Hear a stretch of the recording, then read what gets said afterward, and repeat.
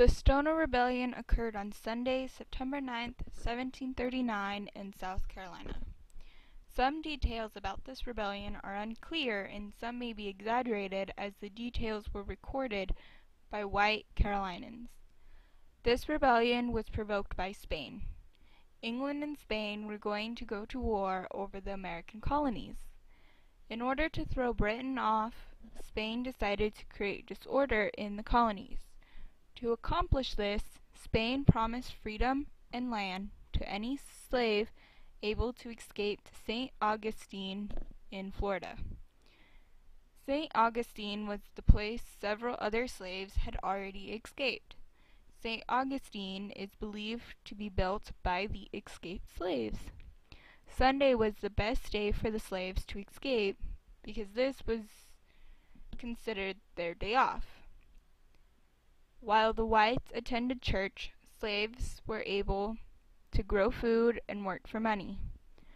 Sunday was also the only day the whites did not carry a firearm. In an attempt to prevent an uprising, the Security Act was passed. This act stated that all white men must carry a firearm when attending church on Sundays. Therefore, there will no longer be a day when the whites were not carrying a firearm.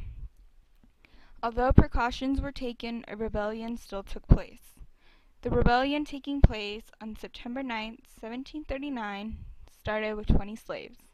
The leader is unknown, but some believe it may have been a man named Jemmy. They started near the Stono River and began marching down St. Paul's Parish towards St. Augustine, Florida. Along the way, they robbed Hutchinson's store for any weapons and ammunition they could find. They then proceeded to kill the storekeeper.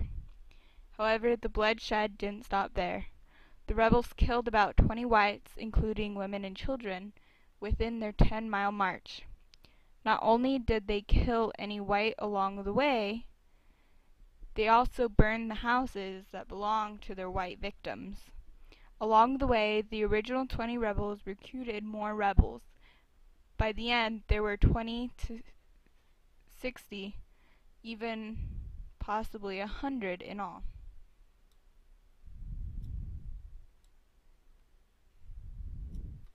The slaves of Thomas Rose heard about the rebels and their killing spree, so they hid their master and his family. Although Rose was safe, his slaves were recruited into the rebellion. There is also record of the rebels sparing the life of one master because he didn't treat his slaves poorly. As the slaves approached Edisto River, they came across Lieutenant Governor William Bull. Bull was able to notify the militia due to the fact he was on his horse.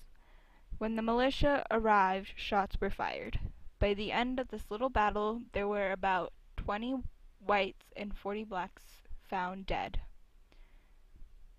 The rebels that were not killed during this battle were beheaded.